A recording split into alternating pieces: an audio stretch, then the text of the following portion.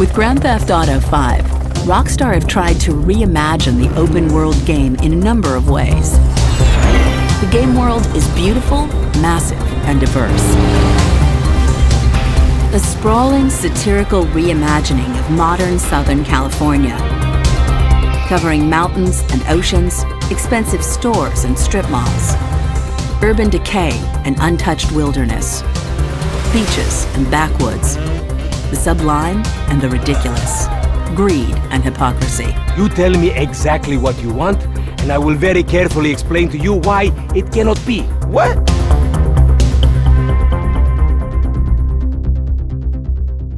So what we doing here? We're working, amigo. For the first time, the game features not one, but three would-be heroes. So now what?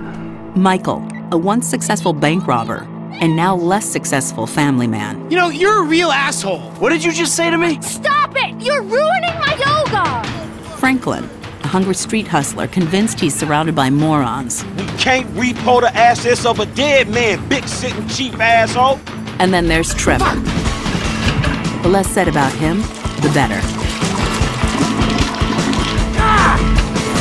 Introducing three lead characters transforms both the narrative into one interwoven story and the structure of individual missions.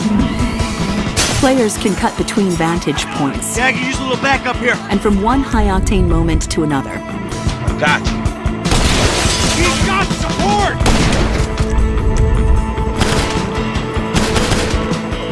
Get us out of here!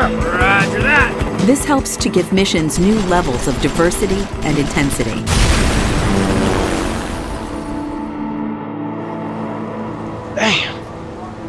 When not on a mission, the use of three lead characters also allow for a touch of voyeurism.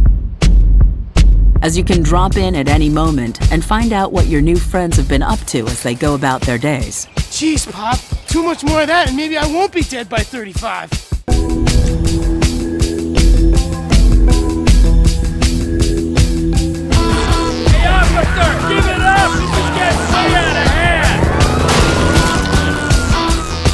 World is not only huge, it's packed with a vast array of things to see and do. Cars to customize, planes to fly, clothes to buy, sports to play, nirvanas to pursue, oceans to dive, animals to spot, hunt, and be hunted by, freaks to watch, meet, and befriend, Get the hell out of here! bounties to hunt, and on and on. How have you been? Oh, simply wonderful. And you? Somewhere stuck between joyful and peachy. There's also been a huge focus on mechanics in the game to make every aspect as fun and fluid as it is broad. Everything from driving and shooting to tennis and bike riding feels fun and responsive. However, alongside all of this leisure, people also have to take care of business. For all their pretensions, these men are dangerous thieves. It's an industrial area, right? So I'm thinking vehicles. Trash truck to block, tow truck to sack. To survive, they have to set up and pull off a series of increasingly audacious heists. Gentlemen, some plans for your attention. The player sets these up themselves, then decides how they execute them and with whom. There's two ways I see of doing this. We go in smart, Let's go. or we go in loud and dumb. Let's go. Ladies and gentlemen, this is your moment. Please don't make me ruin all the great work your plastic surgeons have been doing. After the take is divided, you decide what to spend your money on. Anything from sensible investments like tattoos and fast cars to risky ventures like stocks and Los Santos real estate.